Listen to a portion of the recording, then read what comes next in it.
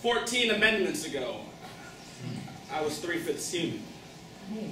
But people aren't meant to exist as fractions, so instead I'll round down. See, uh, my life was predetermined at conception. They said I'd play basketball. if not that, then janitor. If not that, then be a rapper. Wondering if I look blacker in gold teeth and white beaters. You know, someone once told me I was the whitest kid they knew. Because my verbs were conjugated. My pants didn't sag, and my mind reeked of private school. But see, I never asked to be an Oreo, so instead, I painted on my blackface. Wore my pants below my waist, mutated my language, because real talk, though, you don't know me. I ain't about that life, nah, I mean, but don't get it twisted, my brother. I will cut you. I will pop a cap in your ass like they do in the movies. Isn't this how they do in the movies? And the first time someone called me a nigger, I wanted nothing more than to be gray. But I held my tongue because silence and shame are equally colorless. It's 2013.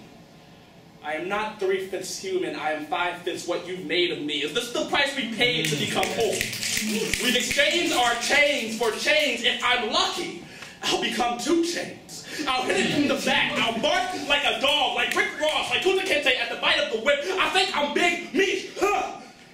But no. My chain does not swing low, sweet chariot, it sags.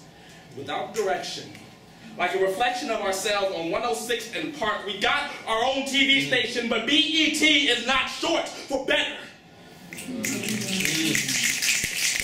Hit me enough times, I'd probably change my name from Kunta Kinte to Toby, too. I'd trade my voice for some money, young money. I'd change my petals to fit inside society's greenhouse. We only care about the flower, after all. The roots are gnarled and nappy. Let's focus on appearances.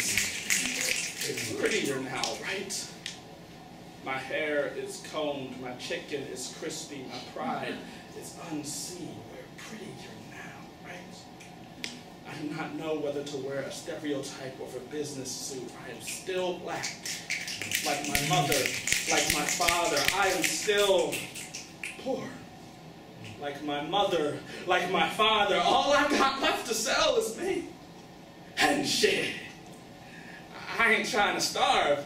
Nah, I mean, I was born hungry. A nigga gotta eat somehow. Mm.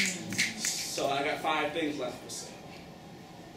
My voice, my body, my history, my anger, and my pride.